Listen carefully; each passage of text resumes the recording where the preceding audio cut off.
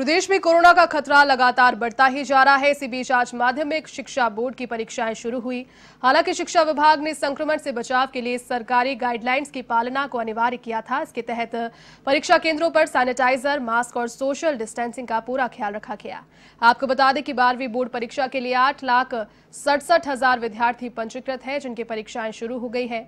ऐसे में आज गणित विषय की परीक्षा हुई। वहीं इसके बाद कक्षा दसवीं की परीक्षाएँ भी आयोजित की जाएगी।